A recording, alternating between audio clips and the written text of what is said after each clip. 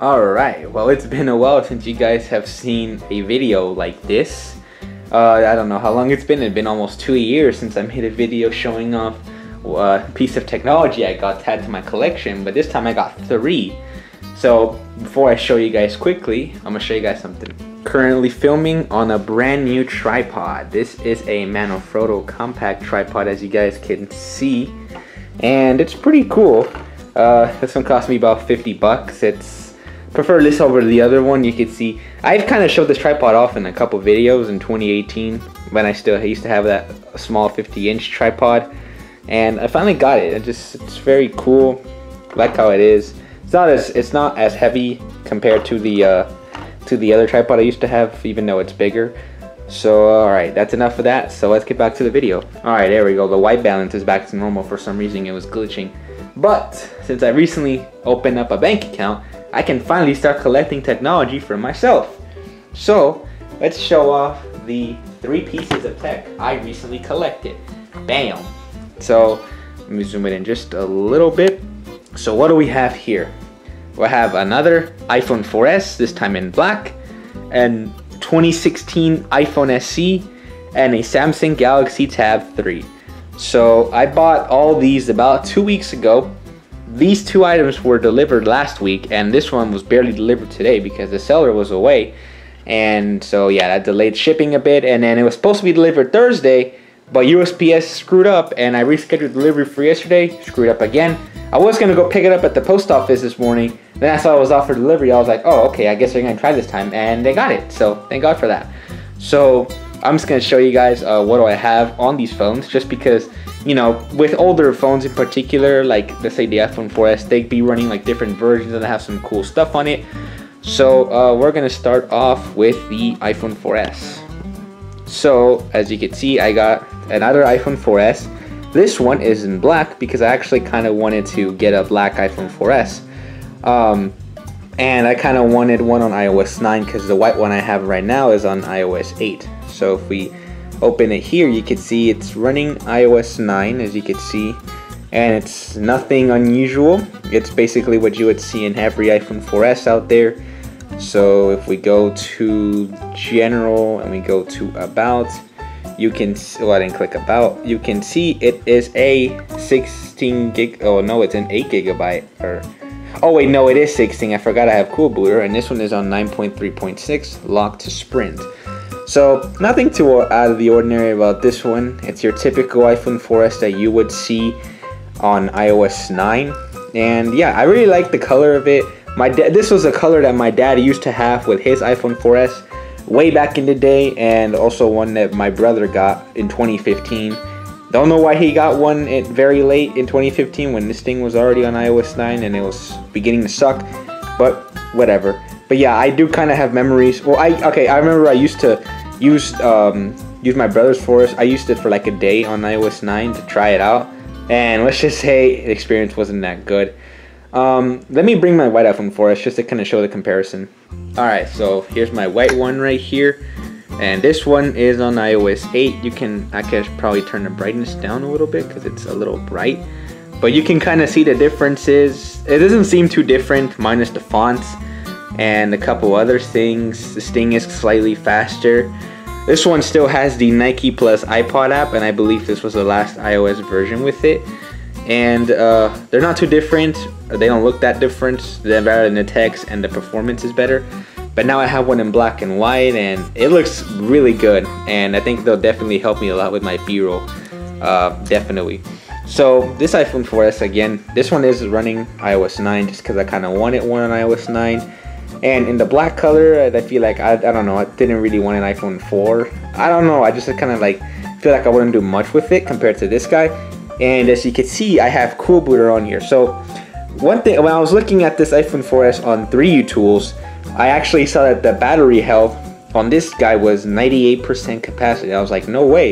It only had 94 charge cycles, but it was already on iOS 9. So I don't think the seller would update it from iOS 5 to 9. He'd probably keep it on iOS 5 if it was so rare. Uh, and this model was manufactured in November 2011. So when I saw it, I was like, no way, I can downgrade to iOS 5 with Cool Booter. but you actually have to downgrade your version of Cool Booter because for some reason on the newest one you can only go as low as iOS 6. So I downgraded Cool Booter and I got iOS 5 running on here. So yeah, let me go ahead and show you guys. So I'm more than likely believing that the guy probably got the battery replaced because if he knew this thing was pretty like I honestly don't think that he didn't know that this thing would have been rare on iOS 5 and if the battery was brand new like I feel I feel like that's the only logical explanation because if the battery was really brand new and it only had 94 charge cycles I feel like he would have kept it either on iOS 5 probably. I'm more than positive he would have kept it on iOS 5 and not not upgraded to iOS 9 um, so let's let this load. And it's actually kind of a quick boot up time. And you guys are going to be presented with iOS 5 which is a pretty special version of iOS considering that you know this phone also in particular is a special phone because it was the last to be announced when Steve Jobs was alive. And there we go. So as you can see iOS 5 bam we are in the home screen. So we got the classic YouTube app which I did get the runaround to work and I'm getting all my messages already. Um, and I, I, of course I showed you guys that tutorial on how to get it to work got it to work and we're good. This one also has Google Maps and I'm gonna have to oh okay well it thinks I'm in Corpus Christi. I've been back for like a week now and I missed that place but this is the original Google Maps that was replaced with Apple Maps in 2012 with iOS 6 and this is pretty cool. I mean, don't notice much of a difference between the two, but that might just be me. Classic Nike plus iPod app, and I think, hold on, how does it look on iOS 8 actually? Oh, it's a complete difference. I'd rather prefer the look of the one on iOS 5. So it's basically like a old version of the Health app. Oh, I don't care about that. It's basically like an older version of the Health app that you would see on iPhones now, and it would kind of help you with like working out and stuff. And check this out. I actually managed to get Angry Birds on here and it actually runs pretty good. So let me actually uh, show you guys, put this all the way up and you guys are gonna be amazed. This last this version of Angry Birds was last updated in 2014. So it's been a while. And the nostalgia is hitting hard, bro. Oh my god. I remember I used to play Angry Birds on this with my on my dad's old iPhone 4S when he used to have one. Let's, see, let's just screw around with it just for the heck of it, like maybe one round. This is how I would always play Angry Birds, and yeah, it's definitely so nostalgic. And as you can tell, I'm not the best at Angry Birds, but yeah. Speakers aren't actually too bad on this thing, and yeah, it's super cool. This one got the updated music app. Uh, it was not till iOS 4 or anything lower than that where you would have the iPod app. So yeah, it's unfortunate. But you can still use CoverFlow, so that's pretty cool. Yeah, let these load. And yeah, overall, this phone's a pretty cool phone. Um, and yeah, it only cost me about, I think, 20 bucks. Well, not too bad, and I could use this definitely for B-roll when I start actually making my tech reviews. And speaking of my tech reviews, I'm going to give you guys a little update on that at the end of the video. So that's my iPhone 4S. Let's move on to the iPhone SE from 2016. This one is one I've been very excited to get for many, many years since 2018. Because since was, that was the last time I ever used an iPhone SE. And take a look at that. As soon as I grabbed this, the nostalgia came back. Everything about it. It has the old, the original design from the iPhone 5 and 5S.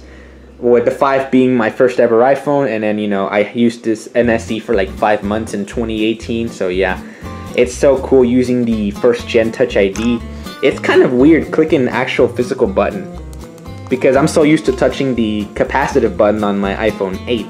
And you know, Touch ID works. It's kind of slow, but it works. I got a couple apps on here. I got YouTube, all, all kind of like the apps that I use the most on my iPhone 8. And this one is a 64 gigabyte model. So if we go to general about, you can see it's on the latest iOS 15.6. It was already up there. I didn't have to update it and it's a 64 gigabyte iPhone. I went with this one because I feel like you know I kind of wanted like a 64 gig iPhone with like uh, one running the latest version. And this is the last version of the iPhone SE because after that it will not receive iOS 16 in September, which is actually in a month, which is crazy. And yeah, this thing is so cool. The, the, the screen itself is It like just so tiny. I remember holding this many years ago. This is the same size as my iPhone 5, which I actually bought two iPhone 5s today. Should be coming in soon, so I'll you I'll make videos on those. But yeah, super cool. The last time I used an, an SE, it was on iOS 12, so I never actually got to try the newer features that it actually got after iOS 13, like the haptic touch, which it didn't have before on anything below iOS 13, which that was only like with the iPhone 6s when it came out uh, around that time. And yeah, it's super cool. A lot of these things, it's like you know, it's kind of weird not feeling the actual haptic feedback with 3D touch, but you know, the functionality is still there. It's just slower, and you don't really feel the actual uh, haptic. And the battery health is actually not too bad on this guy. It is at 90%, so it's not too bad. And uh, yeah, absolutely. Oh my god, this thing is amazing. The widgets on this thing, it just looks kind of cramped because of how small the screen is. But yeah, it gives me the uh, the usual um, interface you would see around here. Uh, you know, nothing nothing too unusual. It looks the same as on my iPhone 8. It just looks all cramped and stuff. And uh, yeah, everything looks so cool. Like the dark interface on this, well, along with the space gray color, looks freaking amazing. And like using YouTube in dark mode, all the apps like Instagram, Snapchat, everything I would use with dark mode. It just looks so cool. And um, yeah, just uh, also the music application is actually really cool how it looks as well. One thing I actually kind of want to actually mess around with this again was the camera because I really like the camera quality and it's not too bad. In low light, yeah, it kind of sucks because it's it's an older camera. It's it has a 12 megapixel camera at least from the 6s. The only small iPhone, or at least an iPhone this small, that can shoot in 4K. So it's 12 megapixels on the back, and it's 1.2 on the front. So it, it's not it's not the best, but yeah, it's pretty cool. Want to actually get the chance to do a tech review on this guy again. And for this one, there's not much to say about compared to the 4S because this one is still kind of a new phone. Uh, but I definitely will remember the definitely remember the nostalgia of using this and the iPhone 5. This because I used this specific phone for like a couple months, and also you know because I had the size with it with the iPhone 5 for about a year. So yeah, it's definitely really cool. You know, kind of like if you're using a modern 5S basically, and it's that's why I got the SE in the first place because it was like a modern 5S and it had better specs. And look how long it lasted compared to the 5S. The 5S got discontinued three years ago, and this one barely got discontinued three years later. So big difference. So yeah, just just about it. And the last iPhone with a headphone jack, cannot forget that. And speakers aren't too bad on this. Definitely a lot worse than the 8 Plus, but not too bad. I watched a couple things on here and actually got to hear pretty loudly. So that's the SE. And this one is probably one of the other ones I'm very excited about because this was my very first electronic device and it's my most popular video right now that is like not part of that website I don't want to talk about but it's my most popular video and tech review. This is the Samsung Galaxy Tab 3 and there's a little stain on it. This is the Samsung Galaxy Tab 3, the original tablet that I got. Well, I mean, it's not the exact original one. I started that one in a video for some reason years ago. I don't know why. I regret it. Um, but I bought another one. I think this one was like $19. So not, oh yeah, I, I forgot to mention how much I bought the SE for. It was like 60 bucks, so not too bad. And this guy, I bought it for about uh, same price, about 20 bucks as the 4S. It was like $19, something like that. And yeah, this one is, um, it's still an 8 gigabyte model. As you can see on the back, it says 8 gigabytes. But this one is a cellular model, so um, you actually get to see a couple of things. So turn it on, you look, it looks exactly the same as how I would used to. The noises are definitely different if you can like kind of listen, like listen to that. I like that though. It, it, it kind of makes it feel more fancy. Like with with my older one, all you would hear is like bubbles, and I mean, yeah, just kind of like that. But I do kind of miss the old sounds. So you know, if I, if I try to like type something out, let's let's Google search something, you can already hear the bubbles. So it's like or no, wait, no, not the not, not the typing. It was like the. Uh, you can hear it. Yeah, turn the speaker up. What do I have it at? Yeah, it's a max. So the bubbles aren't actually like as like as loud as like what I used to have it on my other one. Um, but I still like it though. And with my other one, the, a lot of the Google Play service weren't were not working anymore. This one, most of that issue is fixed except for some reason YouTube is not compatible with this. Cause um, here I'll show you guys. If I if I try to search up YouTube, like on the App Store, it's not gonna show anything. But what I had to do is I had to actually, um, I had to actually let's go to YouTube, Google Play, and then if we look here, uh, I can't. I was not gonna click on that right here. YouTube apps on Google Play. At least I like that it, it gives it the dark mode already, which is pretty cool. And it won't click. This something had a oh, just just once. Let's open it in Chrome, and you guys will see this app is available for some of your devices. So if we look, let's go to let's find the Galaxy Tab 3. If you look there, there it is, the Samsung Galaxy um, Tab 3 item is not compatible with oh wrong one. Item is not compatible with your device. I don't know why like it just happened out of nowhere for some reason and i can't download youtube. I haven't really watched youtube on this thing anyway but if i did i'd probably just end up using google chrome. I don't know maybe if, if there's a fix for this let me know. But i have youtube studio that worked. I got instagram to work but it's kind of an older version. Facebook and uh, messenger work. Netflix is the only streaming service i can use Apple Music, I also have Apple Music, but it's kind of an older version because it still has the white music icon. For some reason, I cannot get Aptoide to load on here because the freaking thing would always crash. Every time I try to load Aptoide, it would not work. It works on the other Samsung phone I had, the the, the other one, the J7. But I find it kind of surprising because it was only like three years ago that it was actually working fine. And now it's like, I guess Samsung just really decided to kill it. I don't know. That might just be me because I've seen a lot of comments on my Galaxy Tech review um, that um, that it's just me and it works for every for everyone else, and that a lot of people still use this tablet as their daily drivers. Believe it or not, I've gotten some comments this year of that. I was like, wow, I'm.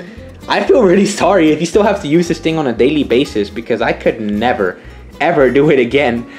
Maybe for a challenge, but no, definitely no.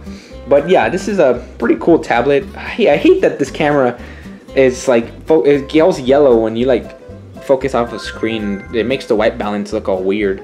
I don't know. It might be just be this camera because I don't know if my 700 700 had that problem. But let's look at the camera on this thing because I I trashed the camera pretty bad on my tech review. And uh, if we look, it's gonna give it a sweet. Oh, I was blocking the sensor.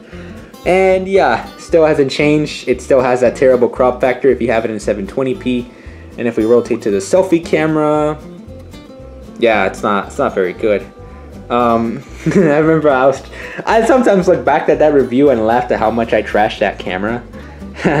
but it's pretty cool. That's basically all the apps I have. I can't really install much games either. I haven't tried some of the ones I used to play like well actually I tried one, but it doesn't work. I have to get it through Aptoid. Aptoid, Aptoide. Is that am I saying it right? And as you can tell, like I said earlier, it does not work.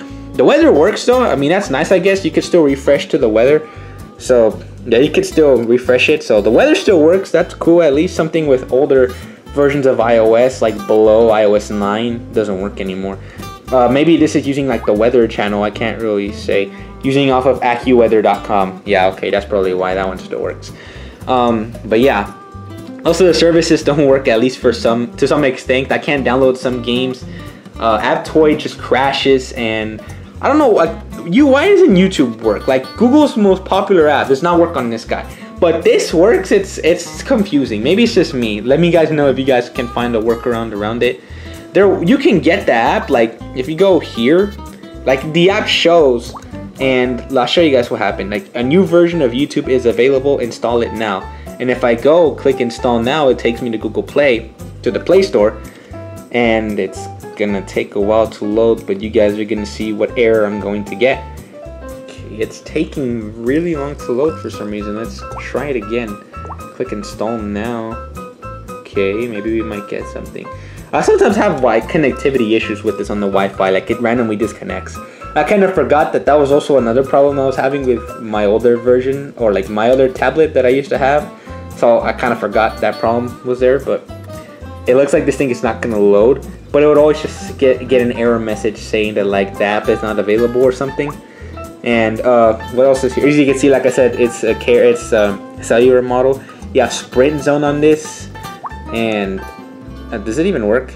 If I click OK, oh, uh, loading. I don't know when it's gonna load. Okay, I guess we can go back or not. Oh, there we go. And then you, Google Plus is still on here too, but Google Plus doesn't work anymore. Oh, what if I try it? Oh yeah, could not connect to the server. Um, I don't know if Hangouts works. I'm gonna try it. Let's see it. Okay, what's it's not. Oh, the tablet freeze? I think the tablet froze. Okay, let's try it again. Oh, does it work? Let's see. Oh yeah, it still works. Kind of. It's, it shows the older interface though. But yeah, that's about it for this guy. Not much to say other than, you know, I got this of course because it was the original, my first ever electronic device. And it was my most popular tech review, so I figured why I could make another one and get more reviews off of it. And maybe I could go on, because considering that was my first ever tech review. So you got to keep in mind that, you know, since it was my first review, you know, it's not the greatest and it's fair to criticism. So I definitely want to do one later on in the year um, and uh, hopefully improve it better because I gotta like actually script it out and actually write a couple things that like I missed in the last time to actually get the video to look better. And those are all pieces of tech I collected just recently. So um, let me actually show you guys two more that are on the way right now. So I got this iPhone 5 in black and slate and that was the original iPhone 5 I had. Uh, it was in black and slate and also ordered a silver one because I actually want to downgrade this one to iOS 8 and I'm gonna dual boot them both with iOS uh, iOS 6 and of course I got some other books for my quantum pad. Still collecting some. These might be the last series of books I get at least for a long while. And yeah so those are two more that are on the way right now. I got some more I want to collect. And, and in terms of my tech reviews uh, I, I want to so okay so right now I'm, I'm about to finish my final week of work because I start college in a couple days um, and I'll, I'll be without a job for a little while so most of the time afterwards after I'm done with college I could probably just hang at home and I could actually film b-roll footage and get some tech reviews together because I got some devices. I got iPhone 3GS two iPhone 4Ss iPhone SE um, the Galaxy Tab 3 uh, the Galaxy J7 refined from 2018 and the iPad 2 and the iPad mini 1 so I kind of have a lot more than I actually originally kind of had planned for like a, a little while ago, I kind of had some devices planned to have, but it's already, I have way more than I originally wanted to have. So, you know, and I'm expanding the collection even further. So, yeah, so hopefully, maybe starting in September, I could start bringing back tech reviews. The last one I did was a last May on the Nintendo Switch. And that was the only tech review I posted in 2021. So yeah, I gotta really get my things together with this series because I kind of miss it. So hopefully September we can see uh, those tech reviews come back. And yeah, that's about it for this video, guys. So a couple other videos I'm working on right now. Uh, well, right now, when you guys are seeing this, my Corpus Christi vlog should be out, hopefully. I'm in the process of editing it um, right now, currently. I'm in the process of editing it. I stayed for like three days, and um, um, day one, the part of day one is finished. I just gotta do day two and day three. Hopefully it won't take me too long. And I got two other FDLC videos that I already recorded and I'll put those out later. Maybe by the time you guys are watching this, they'll be out or if I'm gonna post this one first, I don't know. And another video where I wanted to show you guys every fire the firefighter simulators I used to play before I started my FDLC videos and when I got interested in that series like many years back. And for now, I guess that's it. And other videos, of course, I have planned. I'll figure them out later. And yeah, guys, so that's going to be it for this video. So Thank you guys so much for watching, and I'll see you guys later. Peace.